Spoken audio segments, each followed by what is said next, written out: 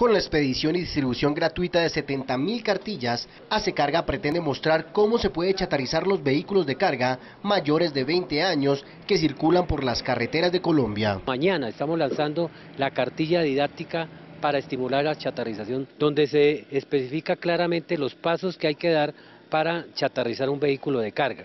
Háblese de ello sencillo, doble troque o tractomula. Según el gremio, más de 15.000 vehículos modelo anterior a 1960 circulan por el país y deben chatarrizarse. La norma dice que debe de chatarrizarse vehículos más o menos modelo 1980 hacia atrás.